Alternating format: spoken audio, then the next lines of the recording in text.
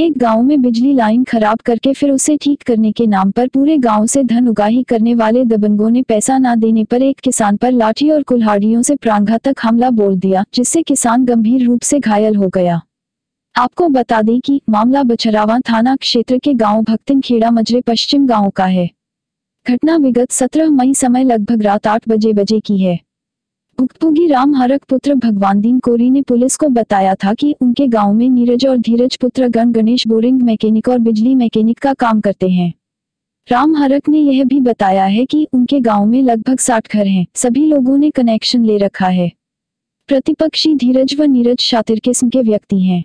अक्सर गाँव की विद्युत लाइन खराब करके गाँव वालों से उसे बनवाने के नाम पर दस दस बीस बीस रुपए प्रति उपभोक्ता वसूलते हैं।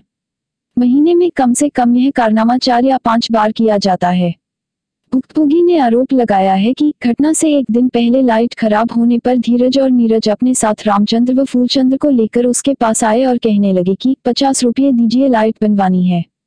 इस पर जब भुगतभोगी राम हरक ने कहा कि, भैया, अभी पाँच दिन पहले ही तुम्हें लाइट जुड़वाने का पैसा दिया था रोज रोज लाइट खराब नहीं होती है।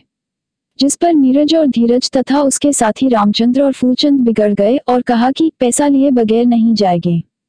राम हरक के इनकार कर देने पर लाठी डंडे और कुल्हाड़ियों से लेस चारों दबंगों ने राम हरक के ऊपर प्राणघातक हमला बोल दिया, जिससे राम हरक का सर फट गया। शरीर पर तथा पैर पर कुल्हाड़ियों से किए गए वार से गंभीर चोटें आई है। पीड़ित ने यह भी आरोप लगाया है कि उसकी चीख पुकार सुनकर गाँव के लोग दौड़े अन्यथा विपक्षी गण उसकी जान भी ले लेते। बाद में आसपास के लोग और परिजन उसे लाद फांद कर थाना बचनरावा ले गए। जहाँ पुलिस ने महज धारा 323, 504, 506 के तहत चारों अभियुक्तों के विरुद्ध प्राथमिकी तो दर्ज कर ली। लेकिन कायदे से न तो मेडिकल कराया और न ही अभियुक्तों की अब तक गिरफ्तारी की जा सकी है।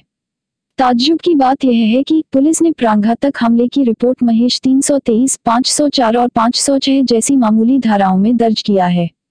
तो वहीं अभियुक्तों की गिरफ्तारी के लिए पुलिस ने कोई गंभीर प्रयास नहीं किए हैं, जिससे हमलावरों के हौसले बुलंद हैं और वह प्रायः पीड़ित को जान से मारने की धमकी देते रहते हैं। पीड़ित जो कि चलने फिरने में असमर्थ है। चार लोग उसे उठाकर नित्य क्रिया कराते हैं। अपना दुखड़ा रोते हुए पीड़ित ने बताया कि अगर हमलावरों पर सख्त कार्यवाही न करवाई गई तो उसकी जान को खतरा है। पीड़ित ने प्रदेश के मुख्यमंत्री योगी आदित्यनाथ और ज़िले के न्याय प्रिय व कर्मठ पुलिस अधीक्षक स्वप्निल मंगई से मदद की गुहार लगाई है और कहा है कि पुलिस द्वारा दर्ज की गई मामूली धाराओं में एफआईआर में संगीन धाराएँ बढ़ाकर अभियुक्तों को तत्काल गिरफ़्तार कर जेल भेजा जाए।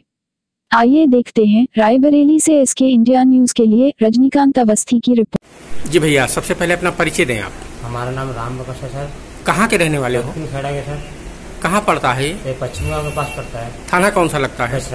पिताजी का नाम आपके? भगवान दिन भगवान जी क्या समस्या है? पूरी बात बताओ। बिजली बिजली गाँव को मांगते हैं पैसे।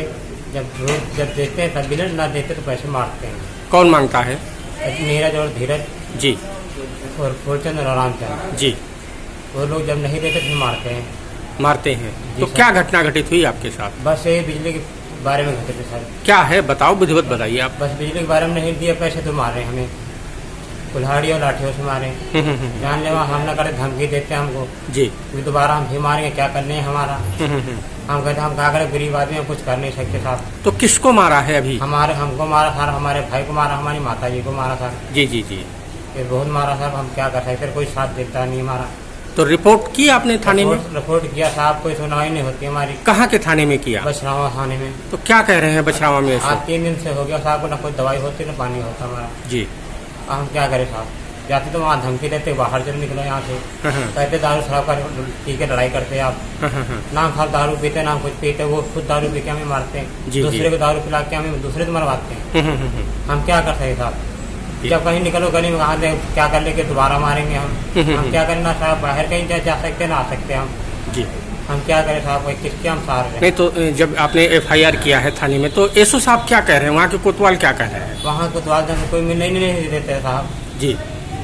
हमसे वहाँ कोई मिलने नहीं देता हम किससे मिले फिर वहाँ हम ना पढ़ने पढ़े भी नहीं इतना हम साहब। हम्म, हम्म, हम्म। हमको कोई आने न जाने देता है। अच्छा आपके इस मामले में क्या मदद चाहिए आपको? साहब हमको बस इंसाफ चाहिए साहब हमको जीने दे दो हमको रोटी कहीं खाने दे दो कमाने को। बस ये साहब हम साहब से आपसे हाथ जोड़ के विनती कर रहे हैं।